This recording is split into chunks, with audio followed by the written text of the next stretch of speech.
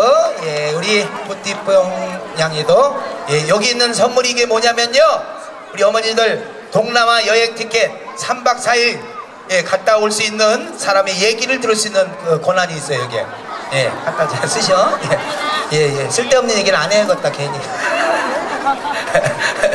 아무도 지금 알아듣는 사람이 없으니까 중국말로 해야 되나? 예?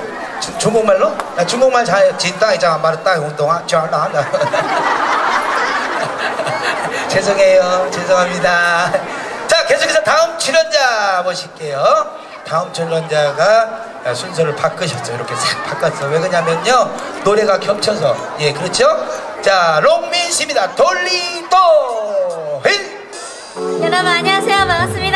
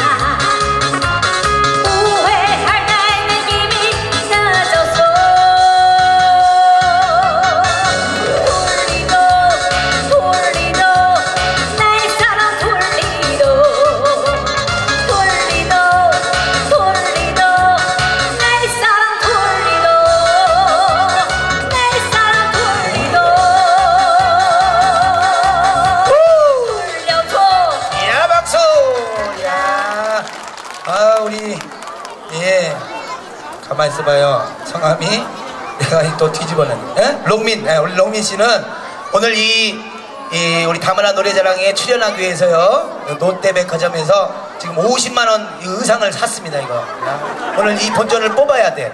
그죠? 잘하지요?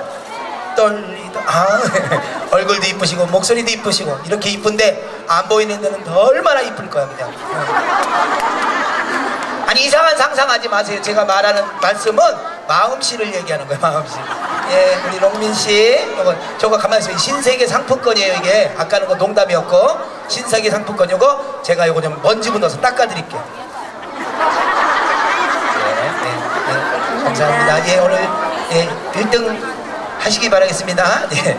자, 계속해서 다음 이제 네 번째 출연자 모시고 어, 오늘 총 8분의 출전자예요. 예심을 다 거쳤죠. 자, 예심을 거쳐서 아, 실력이 짱짱한 네, 8분을 모시는데 예, 우리 네 번째 출연자 모시고 또 여러분들 또 초대 가수 한번 모시도록 하겠습니다. 자, 이번에는 박경옥 씨입니다. 우리 자기야를 신청하셨네요. 박경옥 씨. 야, 멋지다. 박수! 여러분 안녕하세요.